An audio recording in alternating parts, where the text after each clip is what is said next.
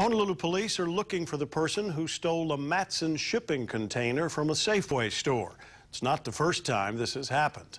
In December, someone made off with a Horizon Line shipping container filled with $100,000 worth of goods from the West Marine store in Iwilei.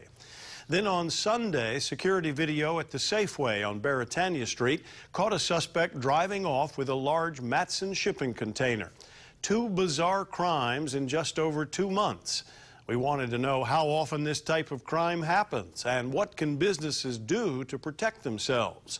Marissa Yamane went in search of answers. Marissa, what'd you learn? Well, Joe, I learned it's actually been a big problem on the mainland. Just last year alone, there were 951 reported incidents of cargo theft across the nation, and in most of those cases, the thief made off with an entire container. And now it's happening here. In just a matter of five minutes, a thief drives into the Safeway Beretania parking lot, scopes things out, then hooks up his tractor to the chassis, and then drives off with the container, just like that.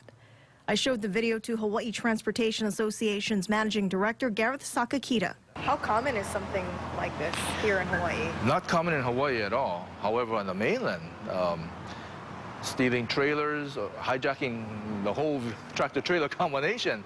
It, it does happen, and it happens quite a lot.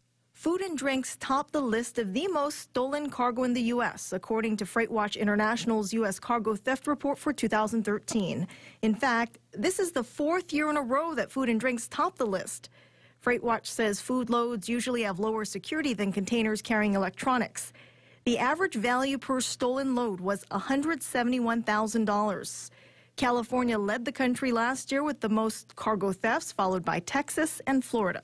I'm, I'm pretty surprised that, that it happened here finally. But something similar happened last December, a container stolen not from a retailer, but from the pier.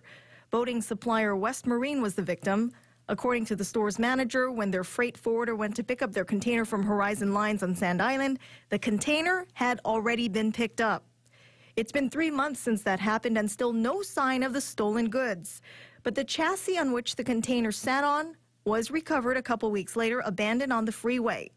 So how do you prevent cargo theft? Like I said, the only the only thing I can think of is the the kingpin lock for what the trailer. It, it's uh, it goes there's a on the trailer. There's a, a pin that comes down where the tractor comes back in, and they have a fifth wheel that goes around this pin and locks in. So if you have something on the kingpin, then you can't you can't lock into that. We also noticed today that Safeway Beretania stacked up some pallets in front of the container, perhaps as a deterrent. The FBI says many companies don't report cargo crimes to avoid bad publicity and higher insurance rates. But industry experts estimate that cargo thefts can add up to as much as $30 billion in losses each year, hurting not only the retailers and insurance companies, but also the consumers as well. And police didn't tell us what was inside that Matson container, and Safeway hasn't returned our calls. But if you recognize the person in that video or know where to find him or know where the stolen container and goods ended up, call Honolulu Police. Marissa Yamane, KHON 2 News.